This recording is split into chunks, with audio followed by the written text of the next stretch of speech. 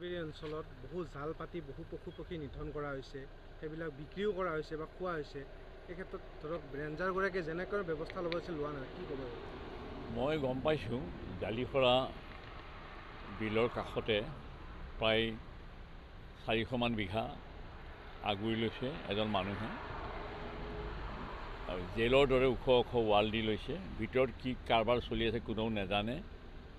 আৰু এই বিষয়ে যেতিয়া মই গম পাইছোঁ যে তেওঁৰ ভিতৰত পুখুৰী আছে আৰু ওপৰত জাল পাতিছে জাল পাতি চৰাই চিৰিকটি পক্ষী নিধন কৰিছে বেচিছে খাইছে বা বিভিন্ন ধৰণে পক্ষী পক্ষী নিধনত তেওঁ জড়িত হৈ পৰিছে তেওঁৰ নামটো হ'ল ডাক্তৰ শৈলেন কলিতা।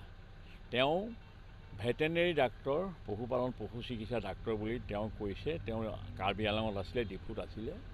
তেওঁ আহোঁতে নিশ্চয় তেওঁ চাৰিশ পাঁচশ কোটি টকা তাৰপৰা লুণ্ঠন কৰি তেওঁ আহিব লাগিব। নহ'লে মালৈবাৰীলৈ যোৱা কে জি বি পথত কে জি বি মানে খেত্ৰী গোলাপ বৰপাক এই পথত তেওঁ ইমান ডাঙৰ এৰিয়া সেই মানি মাটিখিনিৰ মূল্য কিমান হ'ব মানুহে দেখিলে গম পাব যে অতি মূল্যৱান মাটিত আৰু তাতে তেওঁ পুখুৰী খান্দিছে তাৰ তাতে এশখনমান দোকান দিছে আৰু ভিতৰত আকৌ তেওঁৰ অন্য এটা পদ্ধতিৰে তেওঁ চৰাই চিৰিকটি মৰাৰ ব্যৱস্থা কৰিছে আৰু সেইবিলাক বিক্ৰীও কৰিছে আৰু যিখিনি খাব পাৰে খাইছে আৰু জালিখৰা বিলৰ পৰা কি টেকনিক খটাই তেওঁ বালিখিনিত ৱালেদি নি ফুটা কৰি ভিতৰলৈ আনি তেওঁ এটা বালিৰ মহলো খুলিছে। আৰু বালিৰ মহলটো যোৱা বছৰৰ পৰা সি চলাইছে তেওঁ।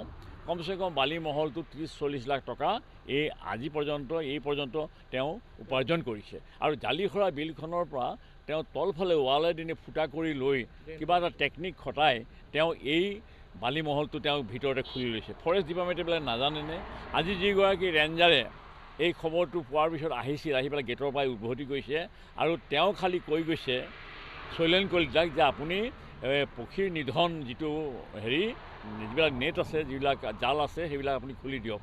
এই বুলি কৈ তেওঁ গুচি গৈছে। সোমাই পেলাই তেওঁ চাবলৈও চেষ্টা নকৰিলে। তাৰমানে ৰেঞ্জাৰগৰাকীৰ পৃষ্ঠপোষকতাত এনেবোৰ কাম চলি আছে আৰু এই ৰেঞ্জাৰগৰাকীৰ পৃষ্ঠপোষকতাত মোৰ আমাৰ এই ডিমৰি অঞ্চলৰ বহু পাহাৰ ইতিমধ্যে ধ্বংস হৈছে আৰু আৰু ধ্বংস হ'ব। এইগৰাকী যদি ইয়াৰ এইখন আসনতে তেওঁ থাকে। গতিকে মই বনমন্ত্ৰী ডাঙৰীয়াক মই কৈছোঁ চন্দ্ৰমোহন পাটোৱাৰীক ইমিডিয়েটলি এওঁক ইয়াৰ পৰা আঁতৰাব লাগে আৰু তেওঁ ইমান দিনে কৰি অহা এই অপৰাধৰ এটা